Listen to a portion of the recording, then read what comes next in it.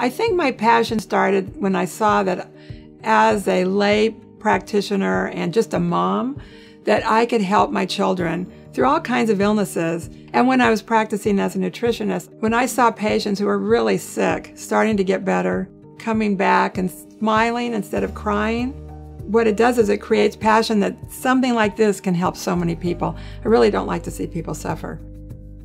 Integrated medicine is a form of medicine that integrates modalities of alternative medicine and conventional, what I call conventional medicine. An integrated practitioner uses blood tests like a conventional physician, but when they see the results from the blood test, they might use supplements.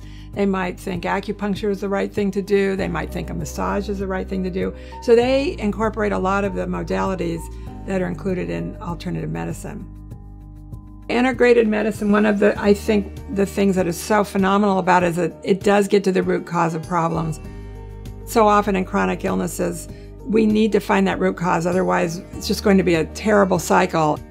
But if we can get to the root cause, which integrated medicine does because our practitioners take the time to listen to their patients, they will look back in time to see what might have started the problem, and then they'll solve that problem instead of just giving them some kind of medication, which ultimately is usually a band aid. I think a patient that comes to our center feels for the first time that they're being listened to. When you go to a practitioner at our center, they listen to you, they fully evaluate you, and they talk in a team so that if there's a problem that they can't figure out, then somebody else might be able to figure out. But they're almost like detectives. And sometimes with chronic illnesses, that's what you need as a detective to find out, you know, you're suffering from something, but it could be something that happened 10 years ago that started whatever symptoms are you're having now.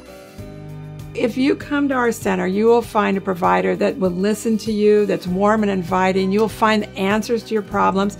Everyone that comes is transformed. Their lifestyles transform. They change their diet. They begin to exercise. They find out exactly what they need to be doing, and lo and behold, they get healthy.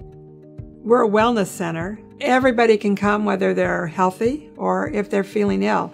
We provide tours. We would love to see you. We have classes. It's a wonderful place to be.